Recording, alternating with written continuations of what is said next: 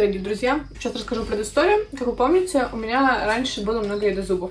Выходило видео о том, как мы узнавали пол едозубов. Если вы помните, приезжал такой дядечка очень приятный, привозил своего самца, и мы смотрели на реакцию его самца, там, на моих самых самцов, чтобы понять, кто где по полу, потому что у меня не получалось развести до зубов, а у него как бы они каждый год разводились, и не было с этим проблем с определенного времени. У меня как-то не получалось. Но у меня там то переезд, то что-то еще, то, то зимовки не получались. Ну, в общем, мы с ним приняли решение, это такая краткая предыстория, что я ему отдаю одну самку, чтобы он попробовал спарить ее со своим самцом. Раз у меня с моими самцами не получается. Потому что, возможно, дело... То есть да, даже его самец особо не реагировал на моих самцов. И дело, может, вообще как бы не в самках, а именно в самце. И я ему отдала, это даже было больше года назад, я ему отдала самку, Первый год, э, соответственно, у них ничего не получилось. Никаких там э, новых ну, попыток даже не было. То есть его самцы так и не реагировали на самку.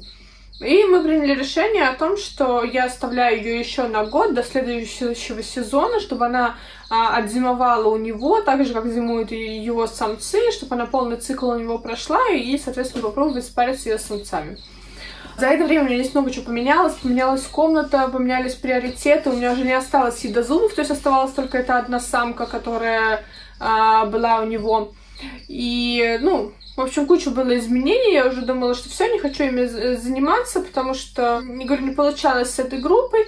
Новую покупать э, как-то не хотелось, потому что непонятно было, что и как. Дальше, ну, какая у них предыстория. И в какой-то момент я даже хотела прям с нуля начать, то есть э, когда у этого мужчины родились малыши его разведения, моя самку пропустила, он, в принципе, мне предложил несколько малышей в обмен на самку мою. Но что-то тогда я не захотела, подумала, ладно уж, э, если не получится в этом сезоне, будет просто она у меня жить одна, и либо я ее пристрою к кому-то в группу уже, собственно, ну, у кого есть группа едозубов. Вот, и в итоге я решила ее оставить у него, и буквально там недели три назад, ну, где-то месяц назад, он мне начал писать, что Катя, приезжай, говорит, я больше не могу их держать, потому что, говорит, у меня еще сидит несколько э, молодых, которых он себе оставил от своего разведения. И самка не спаривается с самцами. То есть они к ней подходят, просто ложатся, и она тоже просто ложится, и ну никакой реакции нет. Так же, такая же история, как которая была у моих самцов. Никакой реакции просто нет. Он говорит, забирай ее, потому что а, саживать со своей самкой я ее уже не могу, моя самка беременна. И, ну, вариантов нет, как бы он живет в квартире, но я думаю, ладно, заберу. Мы с ним договорились, что спустя неделю я, собственно, ее заберу, подготовлю под нее место, потому что у меня, соответственно, здесь полная перестройка была. Те террариумы, в которых они жили, я убрала. Построила новые террариумы, а те так и остались просто стоять, и ставить их, ну, как бы некуда, потому что у меня здесь все полностью под забитку. Вот, но единственное, что я придумала, что пока сезон не спаривания, я объединила а, тегу, потому что они уже не пристают друг к другу, потому что сезон прошел. Посмотрите, какой красавец у меня вымахал парень и девчонка красотка. Ну, они вчера покушали очень плотно. Вот. И раз у них все равно сейчас не сезон, и они не спариваются, то я решила как бы их объединить и рядом посадить самку едозуба. Ну, собственно, красавцы. Смотрите, как он возмужал. Вот он по возрасту уже довольно-таки взрослый, но вот именно рядом с самкой, когда, видимо, запах появился самки, он прям, смотрите, как возмужал. Но он сейчас, правда, в линке некрасивый, так он черный, красивый, сейчас он скоро будет облинивать. А она светлой линии женщину свою защищает. Вот. И, собственно, единственное, что я придумала, без интегу и ее забрать. В итоге все, я собираюсь ее забирать, звоню ему, говорю, типа, все, там завтра могу приехать.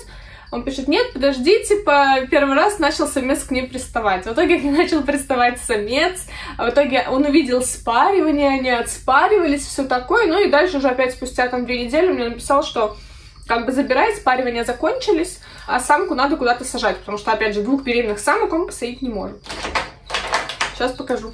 И вот такая красотка к нам приехала. Она сейчас полностью перелиняла. Вообще едозубы очень редко так прям полностью-полностью перелинивают. Все время них что-нибудь такое остается. Но он сразу сказал, что у него всегда перед родами самки перелинивают полностью, прям в ноль. Вот она прям такая вся красивенькая. Я не буду ее там трогать, потому что она, во-первых, сейчас более нервная, во-вторых, как бы, ну, ни к чему это в руки ее брать.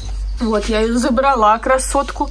Но она у меня уже сидит неделю, у меня просто все руки не доходили, или даже больше, снять видео. Мы предполагаем, что она все-таки беременна, потому что ее очень сильно раздуло, то есть в таком состоянии ее никогда не видела. Самочка, которая перед ней спаривалась, вот буквально на днях сделала первую кладку. У едозубов такая тема есть, что они могут не за раз класть все яйца, как э, там другие ящерицы они могут откладывать там в течение месяца. Причем это не как вот там у бананоедов или у блефаров, которые там откладывают два яйца, потом через месяц еще два яйца. Здесь как бы вообще такого нет. Она может отложить одно яйцо, там через пять дней отложить 10 яиц, там через еще три дня там еще два яйца. То есть вот такая история у них есть. Он сразу меня предупредил, что у него это такая история часто. Вот у него самка отложила уже первых два яйца. Хотя он говорит, что с каждым годом все меньше и меньше растягивается этот процесс, и э, все быстрее самка откладывает яйца. Так что будем от этой красавицы чего-то ждать. Надеемся, что чего-то хорошего. Но у нее это первая беременность получается, соответственно, первая будет кладка. И как он сказал, что первые кладки, ну вот у личного его едозубов всегда были пустые первые две кладки. Но посмотрим. Все-таки она возрастная, может быть исключение. Еще мы пришли к такому выводу, что, возможно, не получалось из-за того, что она другого локалитета. А раньше был Хиладера хоридум экзаспиратум. То есть я ее покупала как экзаспиратум, но она больше похожа на харидум. Тут сложно, надо, конечно, статьи поднимать, может, как-то можно посчитать, кроме как генетически это посмотреть. Предположили, что из-за этого и были сложности с размножением, что просто она как-то отличалась, и самцы ее не видели, и, ну, какие-то сложности явно были.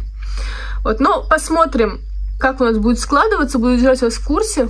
Если она там отложит яйки, да, ты сладкая, сладкая девочка такая.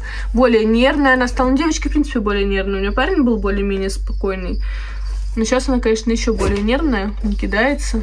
Поверьте мне, укуситься такой штукой очень не хочется, это очень больно, плюс они ядовиты, как я уже говорила. Вот, какие у нас истории тут пожелайте нам удаченьки. Мало ли, может быть, повезет, и реально у нее первая кладка будет э, хорошая. Это вообще, конечно, будет круто. Вот я вам все время показывала раньше корма, когда я их забираю. Сейчас хочу показать то, что даже спустя неделю, то есть сегодня у нас последний день, когда нет кормов, то есть вчера была кормежка и, и все скормили. То есть если вы так прислушаетесь на видео, то они вот бегают по террариумам, то есть они неделю жили дожили до второго скармливания, и все с ними как бы прекрасно. Вот. Так еще и саранча, которая вечно не очень хочет жить. Прошла неделя, мне завтра как новую встречать, а у меня еще здесь запасы есть. Я сейчас пойду их кисом скармливать. Вы посмотрите, хоть бы что. Тирекс Фуд Спасибо вам большое. Просто потрясающее качество насекомых, которые живут, пока их не съедят. Сейчас буду ловить их и понесу кисам, потому что рептилиям уже поскармливаем саранчу, но завтра еще и рептилиям докормим. Потому что в основном, конечно, это я беру для кошек, но и для рептилий тоже. Вот о чем я говорю, даже мелкий сверчок вот, живет кого не доели, то есть мы просто уже раскидали, чтобы освободить контейнеры под э, новую партию. Это так классно. Кстати, здесь очень классные ящерки. Напишите, пожалуйста, хотите вы про них узнать или нет. Я их э, себе завела, ну, относительно где-то полгода назад, но что-то все никак про эти видео не сниму. Хотя, хотя это то, сейчас мы их найдем. Это такая прям моя тема. Это кошачьи гекконы. У меня все должно быть связано с кошечками. Прям я э, задалась целью где-то примерно месяцев 8 назад. Что-то я их захотела и собрала уж такую неплохую группу. Вот такие красавцы.